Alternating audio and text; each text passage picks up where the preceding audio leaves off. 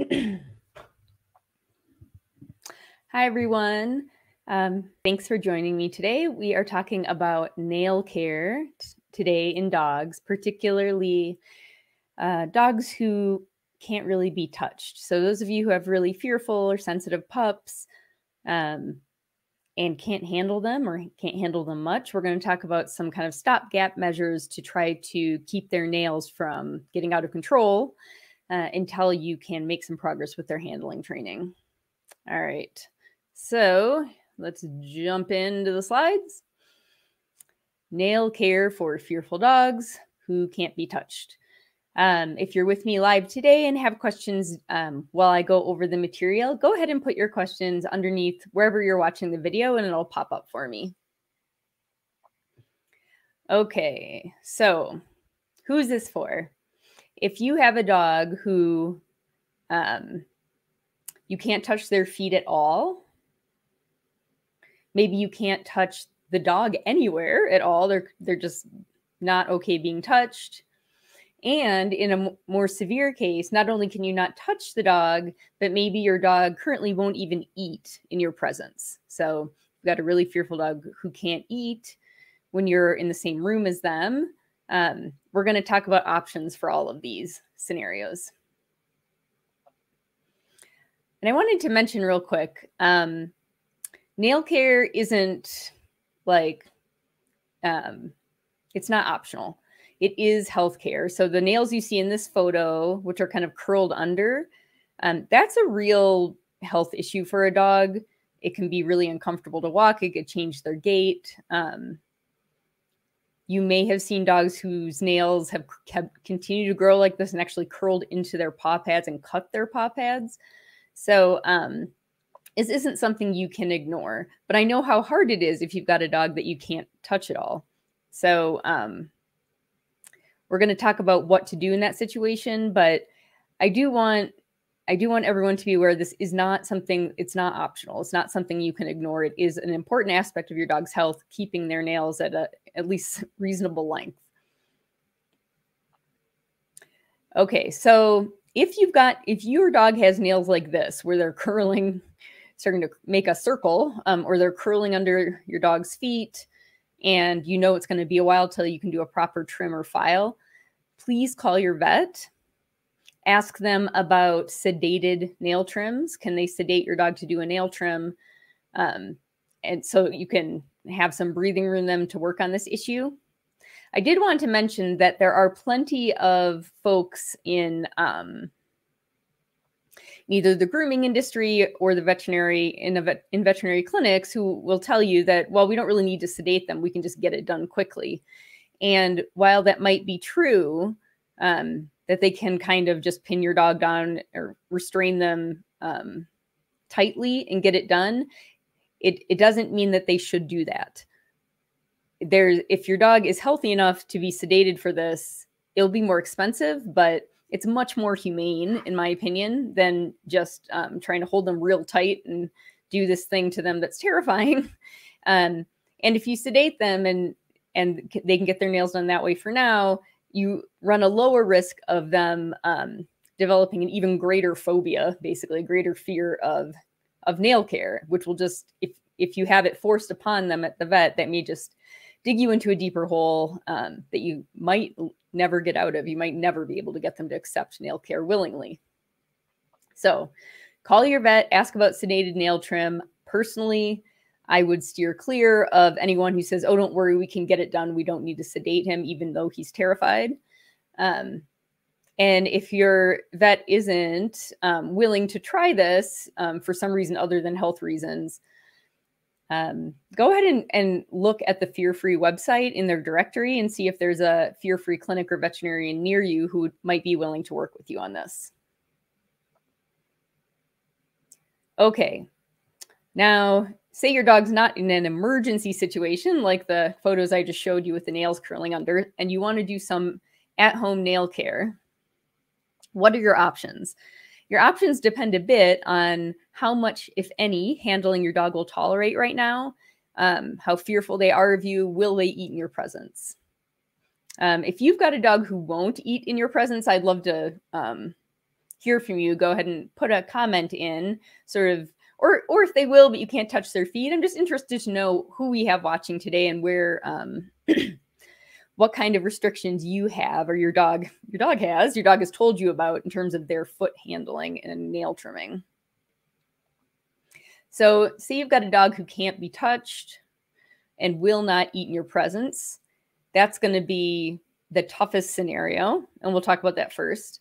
If you've got a dog who can't be touched but will eat in your presence, will eat treats, that gives you a few more options.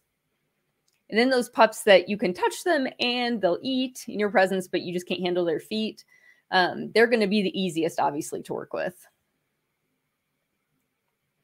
All right, so let's start with these toughest dogs, the guys that are really fearful. Um, you can't touch them at all. They will not eat treats in your presence.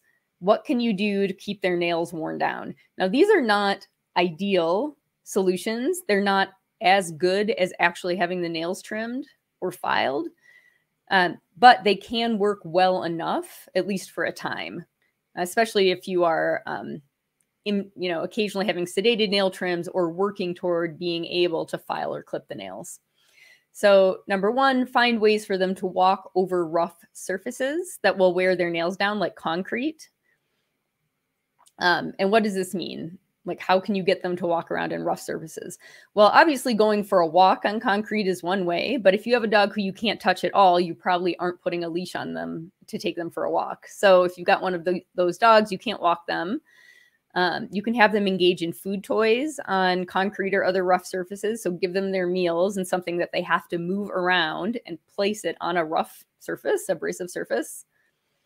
Um, you can also just scatter their treat, either treats or actually their meals um, on some abrasive surface like concrete. You can set up little scent work games um, that sort of that cover a large area on a rough surface, like a a concrete porch or something so that they are moving around looking for food and wearing down their nails a little bit. Um, if if you can't get a dog outside and you need to do something indoors, you can still set up abrasive surfaces on sort of along their common routes of movement to make sure they are walking on um, something rough. So let me show you some video examples with Pancake. He was one of these dogs in the beginning when we um, first had him in our home, we couldn't touch him at all. He wouldn't eat with us in the same room. If I came into the same room, usually he'd run away.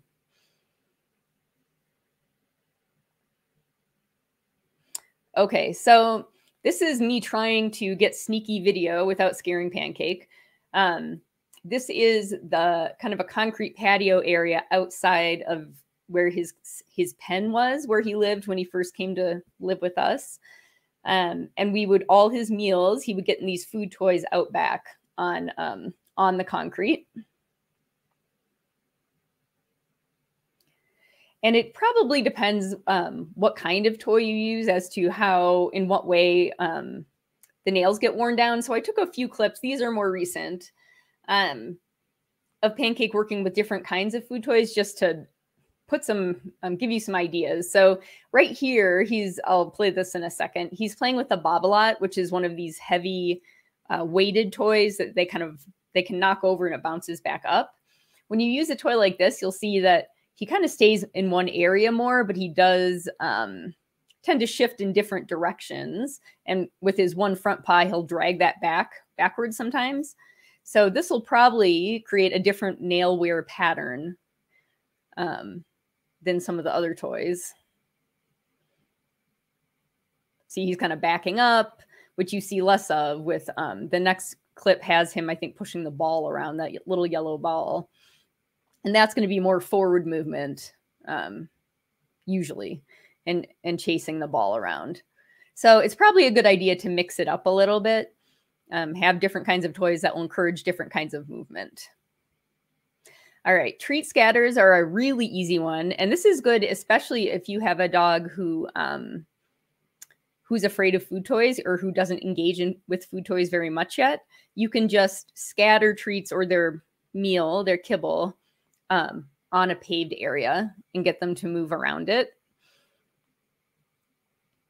So this is this is Pancake just doing some slow searching. Um, there's food scattered all over the porch here, little tiny kibbles. So that's again mostly forward movement. Uh, scent work. We do have a um, we have an online scent work class. If you um, haven't seen it yet and want info on it, shoot me a message. Um, I love scent work for fearful dogs. One easy game to set up with scent work is just treats in boxes. You don't have to put them in boxes even, but um, so this is just another way to get the dog moving back and forth over um, a rough surface and also doubles as some enrichment. Um, okay, and then abrasive surfaces on common routes. So this, let me, we did this very early on with Pancake, and I'll show you exactly what this looks like. So here, his crate is this tan Vari Kennel here in kind of the upper right. And right in front of it is a nail board for dogs. Um, it's just homemade. It's a piece of scrap wood with some of that tape that you might put on um, outdoor steps so they're not slippery. So it's like kind of gritty. It's like a huge emery board, basically.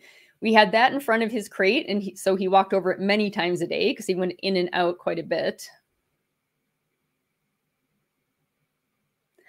Um, and he also, right here, he is standing on a kind of orange uh, square there. That's another nail board. And so you could have more than two, but we had two abrasive um, little surfaces in his pen so that even if he wasn't spending a lot of time outside, at least he was sometimes walking over these um, rough surfaces and wearing his nails down a little bit.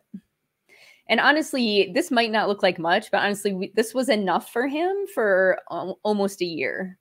It wasn't ideal, but it was enough where, um, you know, he wasn't having nails kind of growing in into his, you know, paw pads or anything. They were they were longish, but they were sort of within a normal range of length.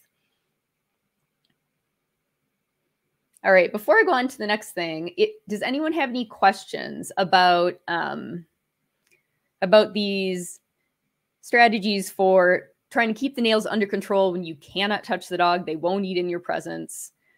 Um, the real scared pups. I should point out that if you are going to put abrasive surfaces in their pen, um, keep an eye that um, on their feet. I know you probably can't go pick up their feet or anything, but um, you know, don't have it. Have them have other options, like places where they can walk on soft surfaces too, um, just in case. They could, in theory, if you have a very active dog, they could abrade their paw pads if it's a very rough surface. Um, we never had anything close to that problem, but it's just some a potential issue to be aware of. All right.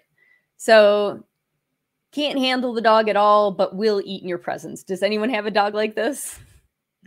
Um, once a dog will eat when you're in the same room with them, it opens up a lot of training possibilities um, in terms of you know using food as your reinforcer in training.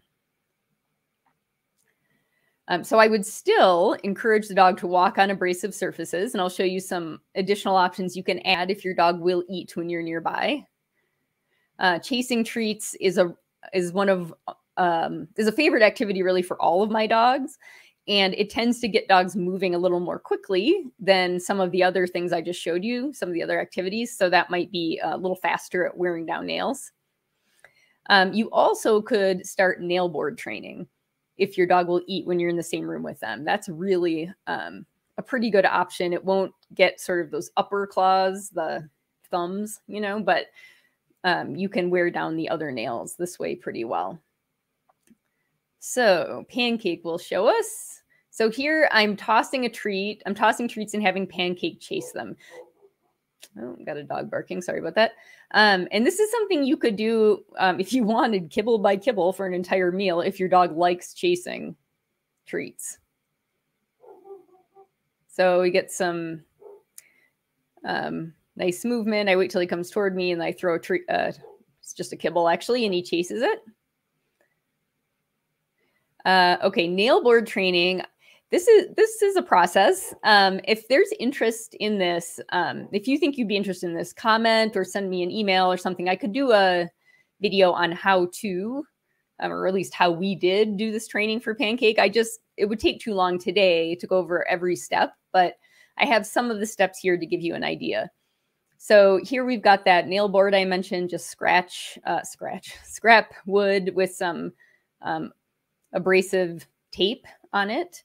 And this was one of the first days that we worked on this. And I, I just wanted him to step on it. If he stepped on it, then I would say yes and toss a treat to him. There must be a bear outside. Um, as he got better at this, oh, and by the way, I should mention I I put this um on purpose in front of the crate because that allowed him to back himself up into the crate when he was drawing his nails back and his crate was like a safe space for him. Um so training at this stage was still like i had to be very careful not to be cl- too close to him not to look at him too long not to keep the training session going for too long.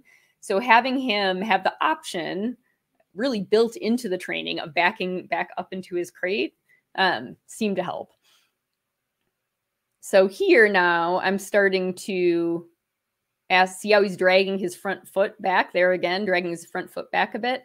That was that's what I was going for. So initially I would reinforce any foot on that nail board. And then um, I would watch for and differentially reinforce, reinforce every single time. Um, and with better stuff if I had it, any dragging of those nails back along the board. Um, and we, I slowly raised the board up a little bit. As you can see, I think I have another little piece of scrap wood under it with a, a piece of yoga mat wrapped around it to keep it in place. Um, because I thought that might be easier for him to get his paw farther up the board and then drag it down. I'm also, um, there's another nice dragging motion. You may notice also at some point here, I started delivering, he was getting very excited about nail board work at this point. Um, delivering the treats on the well, that was a good one on the far end right there of the nail board so that he had to come out to get it, which set up his next rep of drawing that nail, that his foot back. So here, let's go look at this again really quick. I probably should have made some of these clips a little longer for you guys, but um, okay. So here, just waiting for him to put his foot on, toss a treat. And in the very beginning, I was just tossing treats back into his crate because he was felt safe, appeared to feel safer there. Um, then waiting for getting some of that dragging like that, dragging the foot back and delivering the treats. If I delivered the treats toward the end of the nail board that was nearest me, that set him up to do his next dragging his foot back uh, behavior.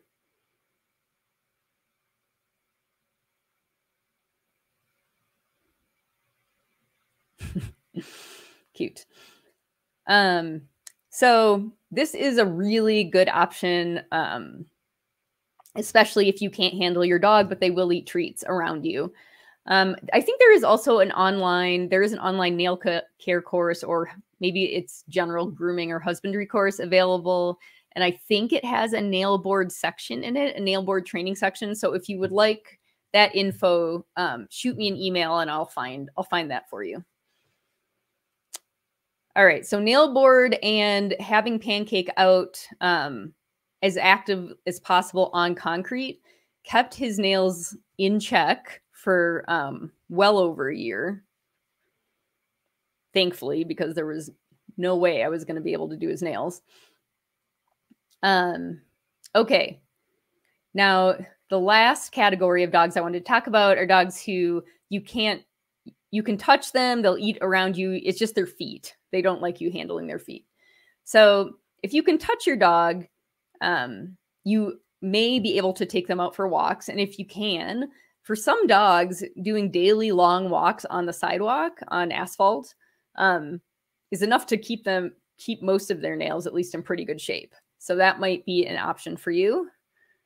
Uh, nail board training, of course, you know, you don't have to, you can't, you don't have to reserve nail board training for dogs who you can't touch at all. This would be fine for dogs who's, who don't like their feet touched. And the last thing, and this is another one I could do a video on um, if there is interest, um, is actually training for nail filing or nail trimming for these guys, um, for these dogs who have who are sensitive about their feet.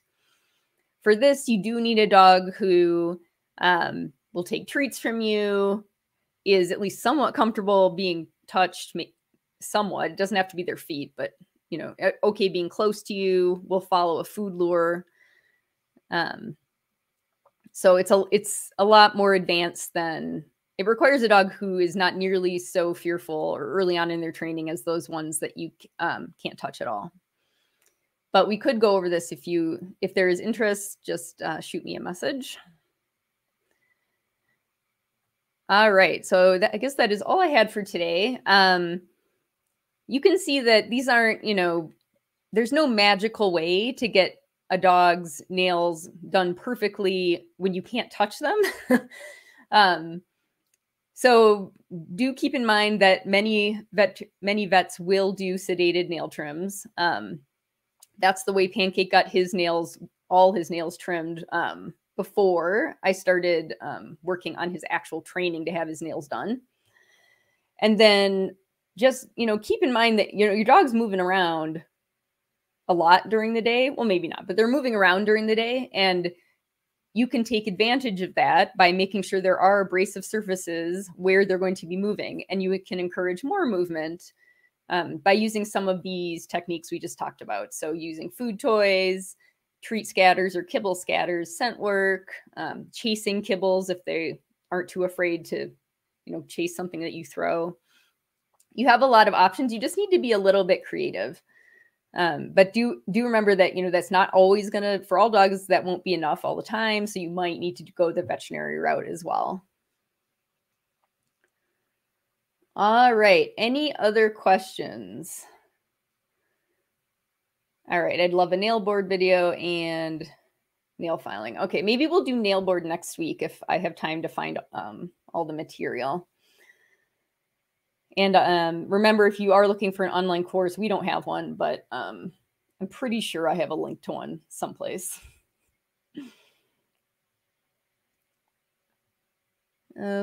Okay. All right. If I don't see any other questions, um, next week, I guess we can continue to talk about nail care. We'll just get into um, the more sort of training options, nail board, um, probably nail board will take an entire session and then the following week maybe we can I can show you a little bit of pancakes training for um, me actually filing you know his nails by hand all right folks have a wonderful week um, i will see you next week same time same place if you try any of these and you have success or if you have some questions like you try something it doesn't quite work We'd love to hear about it. Send us a message um, or comment on the video so we can help you troubleshoot. All right, everybody, have a great day.